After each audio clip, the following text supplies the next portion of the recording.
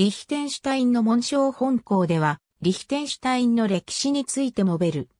現リヒテンシュタイン公国にあたる地域に政治実態が形成されるのは814年にシモラエティアが建国された時だった。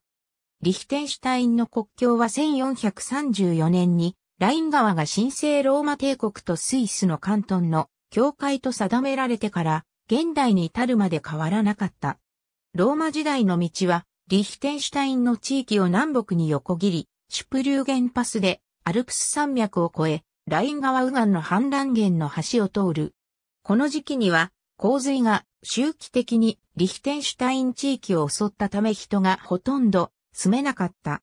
ローマ帝国の村はシャーンバルトとネンデルンで発掘されており、またシャーンにあるローマ時代後期の要塞跡がアレマン人の移住を示している。中世に創建されたファドゥーツ城2004年撮影。ラエティアの一部だったリヒテンシュタインは中世にカロリング帝国に組み込まれ、伯爵領に分割された。これらの伯爵領は世代が下るとともにさらに分割された。シュバーベン公国が1268年に公爵を失い、以降復活することがなかったため公国の報土はすべて帝国直属になった。1100年頃までリヒテンシュタイン地域で主に話された言語はロマンシュ語だったが、以降はドイツ語の使用が増え、また1300年にはバレエを起源とするバルザー人がリヒテンシュタイン地域に移住してきた。リヒテンシュタインの山岳地帯であるトリーゼンベルクでは21世紀でもバルザー方言を話す住民が存在する。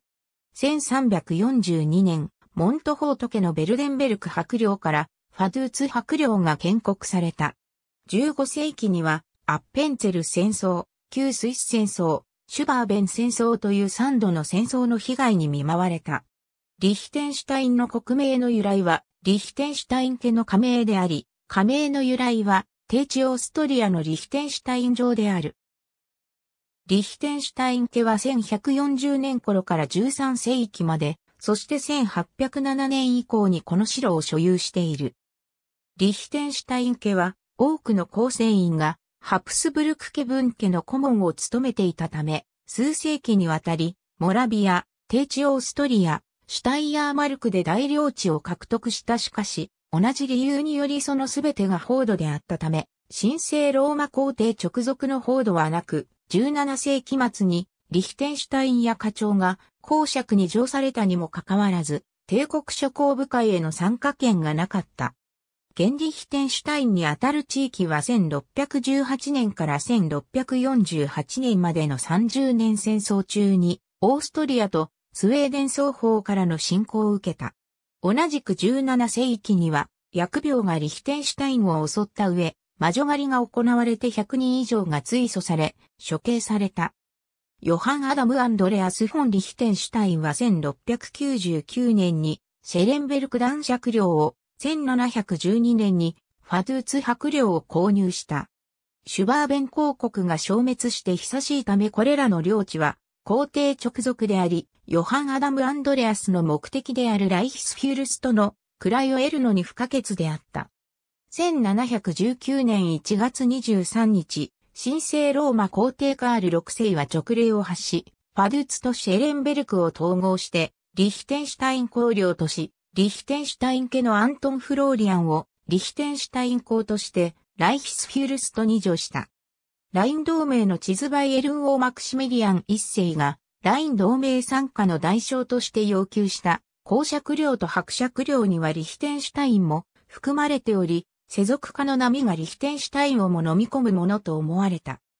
しかし、リヒテンシュタイン公、ヨーハン一世は、プレスブルクの和訳につながるフランス・オーストリア間の交渉で、オーストリア代表を務めており、その時の働きで、ナポレオン・ボナパルトの尊敬を勝ち取ったためナポレオンは、リヒテンシュタインのバイエルンへの活情を拒否した。同年、神聖ローマ帝国の消滅に伴い、リヒテンシュタインが主権国家に昇格、ライン同盟にも加入した。その後、リヒテンシュタインはフランスに数年間占領されたが、1815年には独立を維持した。直後にオーストリア皇帝主導のドイツ連邦に参加した。1818年、限定的ではあったが、ヨーハン一世が憲法を発布した。1862年に1862年リヒテンシュタイン憲法が発布され、人民の代表としての議会を定めた。また1852年にオーストリア帝国と関税同盟を締結した。1866年の広潮戦争では、リヒテンシュタイン公、ヨーハン2世が自国軍をドイツ連邦の管理下に置いたが、同じくドイツ人の軍と戦うことは拒否し、派遣軍の目的をドイツ領チロルの守備に限定した。リヒテンシュタイン派遣軍はリヒテンシュタインから南のシュテリフサー峠に配置され、リヒテンシュタインオーストリア国境をジュゼッペ・ガリバルディ率いるイタリアの軍勢から守った。リヒテンシュタイン本国には予備軍20人を残した。7月22日に戦争が終結すると、リヒテンシュタイン軍は帰国して、ファドゥーツで歓迎を受けた。この出来事に関する都市伝説では、兵士80人が派遣されたにもかかわらず、帰ってくる時には81人になっていた、という説がある。この説によると、余った一人は、オーストリア軍の連絡係で帰ってくる時に、リヒテンシュタイン派遣軍に加入したという。1866年にドイツ連邦が解体された後、リヒテンシュタインは1868年に80人で構成された軍を解散して衛星中立国を宣言した。この宣言は2度の世界大戦でも守られた。リヒテンシュタインは第一次世界大戦に参加せず中立を宣言した。しかし、リヒテンシュタインが終戦までオーストリア・ハンガリー帝国と緊密な関係を保ったため、連合国はリヒテンシュタインへの禁輸を実施した。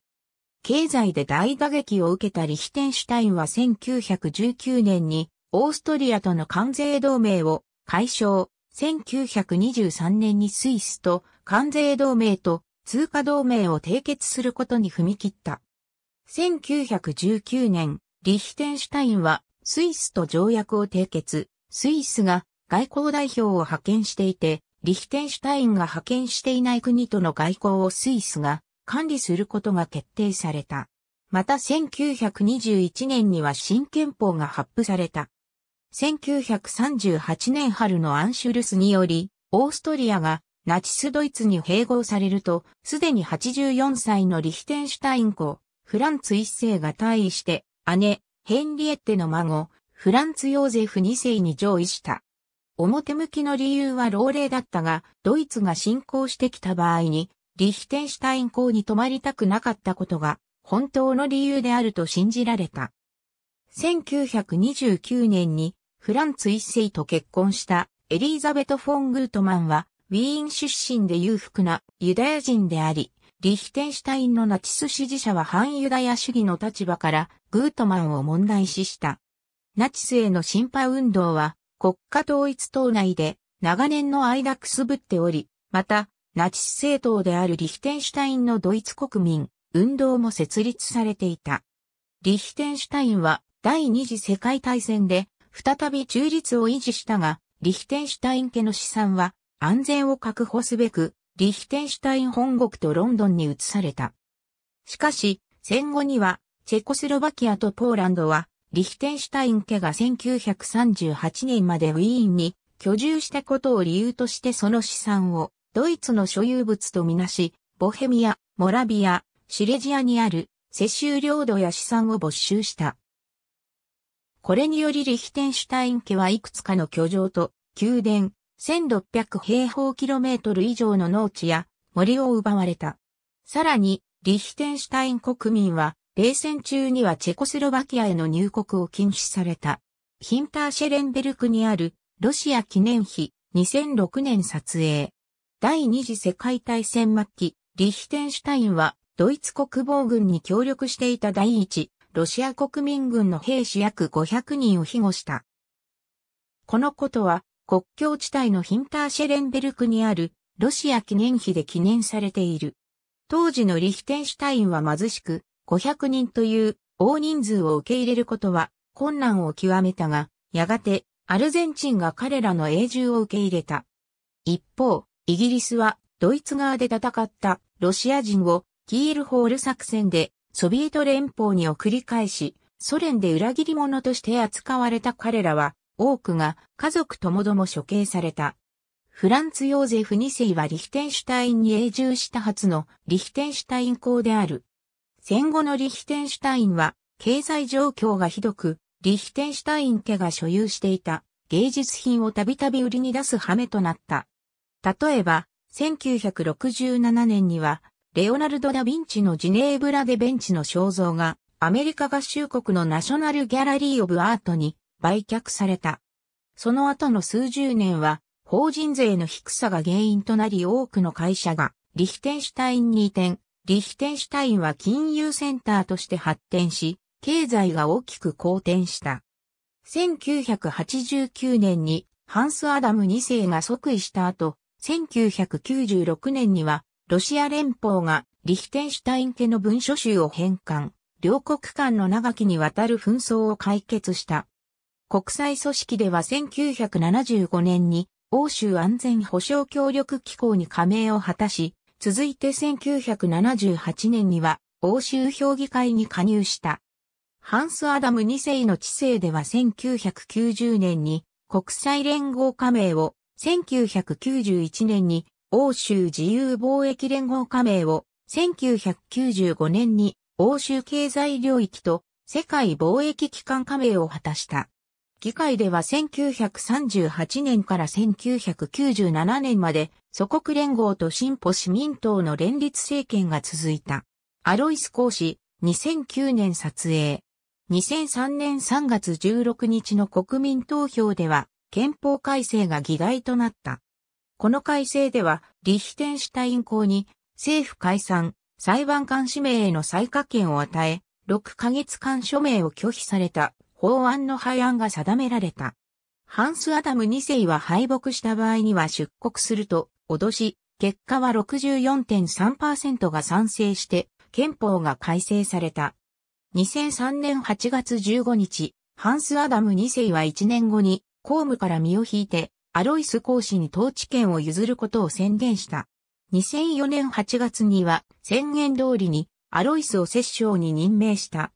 2007年7月1日、リヒテンシュタイン史上初の在外領事であるアメリカ合衆国駐在リヒテンシュタイン領事が委任された。ありがとうございます。